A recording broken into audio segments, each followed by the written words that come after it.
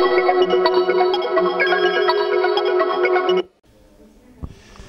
Un sabato e una domenica diversi per Pregiato il 13 e il 14 settembre prossimo con la prima rassegna gastronomica pregiatese. Oggi presentata alla stampa questa iniziativa che vede l'intera comunità eh, pregiatese eh, ecco, insieme per proporre qualcosa che possa migliorare la qualità della vita in questa frazione. Frazione ben rappresentata a livello eh, politico-amministrativo dall'assessore eh, Clelia Ferrara, assessore alla pubblica istruzione e alla protezione civile e all'agricoltura che ha eh, appunto presieduto insieme al sindaco eh, della città di Cava di Tirreni questa conferenza stampa. Buongiorno innanzitutto, sì io sono in veste oltre che di assessore perché eh, sono anche assessore all'agricoltura al contratto di quartiere che, eh, contratto che, sono, che, riguarda proprio la frazione di Pregiato, eh, ma sono anche nella veste di cittadina di Pregiato perché sono nata a Pregiato e vivo a Pregiato. Eh, abbiamo cercato di realizzare quest'anno questa bella iniziativa con la sinergia un po' di tutti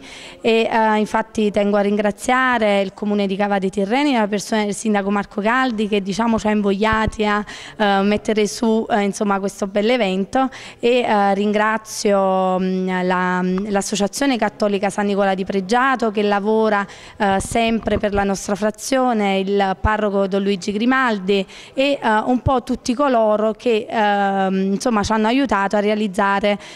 queste due serate come Lazzaro De Rosa perché domenica sera ci sarà un defile di moda quindi questa sfilata di moda organizzata da lui. Sabato verrà accompagnata da momenti di musica dal vivo con Imma Vitale, con il barzellettista Nicola Bisogno e quindi abbiamo cercato di creare due momenti per eh, dare vita e dare un segnale alla nostra frazione ma anche un momento per unire tutti i cittadini di Pregiato come una grande famiglia perché lo scopo è proprio questo, creare una sinergia, vivere insieme, condividere i momenti belli e i momenti brutti e eh, per valorizzare la mia frazione perché come anche detto questa mattina da Luigi Grimaldi mi sto prodigando tanto ma non è per avere dei meriti ma perché la mia frazione merita, è la frazione più, ehm, più, eh, diciamo, più antica di Cava dei Tirreni, una delle più grandi e quindi merita veramente eh, una dignità, eh, merita di essere valorizzata e credo che con l'aiuto di tutti e con questa sinergia riusciremo a fare tanto e a far rinascere la frazione di Pregiato.